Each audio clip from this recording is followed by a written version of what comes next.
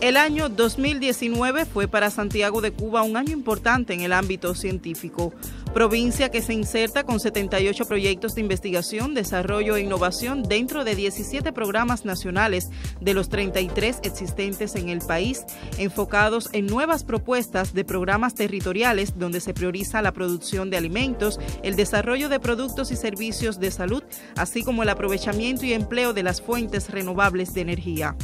Entre las entidades con mayor impacto estuvo una vez más el Centro Oriental de Ecosistemas y Biodiversidad Bioeco en la actualización del estado de los manglares y la caracterización, evaluación y conservación de los humedales. Estudios de arrecifes, pastos marinos, bosques aeromorfos costeros que pueden incidir en daños mayores ante fenómenos extremos y la caracterización de áreas con peligro de inundación por intensas lluvias. Desde el Centro Nacional de Investigaciones Sismológicas se establecieron nuevos criterios para la rehabilitación estructural y el diseño sismo resistente de puentes, edificaciones de mampostería y edificaciones de pórticos de hormigón armado. Se priorizó la instalación y puesta en marcha de parques fotovoltaicos para una mayor optimización energética aportada al sistema electroenergético nacional, mientras incrementó la construcción de 150 plantas de biogás, resaltando en este sentido los municipios Segundo Frente y Palma Soriano, con el apoyo también del Fórum de Ciencia y Técnica. La conjugación de anticuerpos monoclonales con ficoeritrina para el marcaje y diferenciación de poblaciones de linfocitos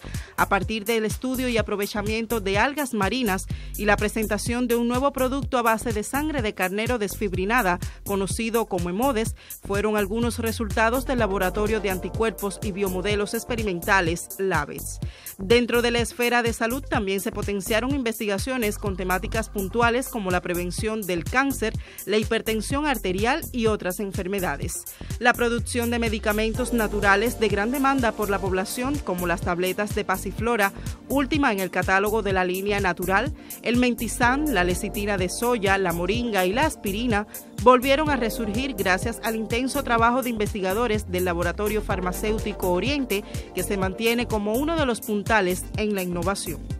Múltiples aportes desde las ciencias sociales fueron validados nuevamente por el Centro de Lingüística Aplicada, anfitrión del segundo Simposio Internacional de Comunicación Social Eloína Millares, y luego tuvo a cargo la presentación del libro Entonación Coloquial Santiaguera, con una caracterización fonológica y fonética de la entonación en esta provincia.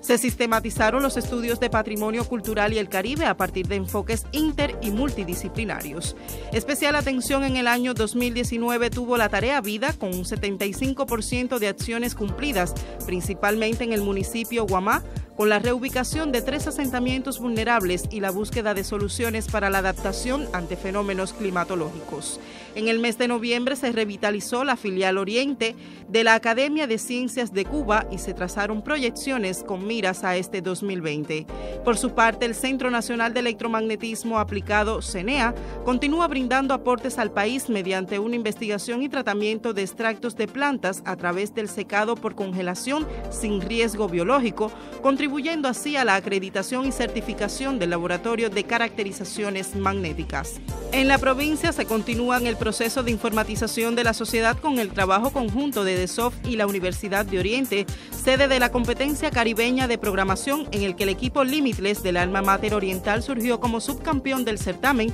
y le espera su participación en el Mundial de Rusia 2020 en el mes de abril. De igual manera, este importante centro académico y científico fue sede del primer evento internacional de Aprendizaje Mezclado Interactivo, conocido como ICBL, en el que expertos cubanos y extranjeros intercambiaron acerca de nuevas tendencias del mundo tecnológico y electrónico aplicado a la enseñanza en universidades con variados enfoques multidisciplinarios. Santiago de Cuba se posiciona en este año 2020 como una de las provincias con mejores resultados científicos tecnológicos, sin embargo, no faltan los retos a vencer para potenciar el fortalecimiento del sistema de ciencia y asegurar ingresos por concepto de exportación de bienes y servicios científicos. Esperanza Castellanos Cabreja, Sistema Informativo de la Televisión Cubana.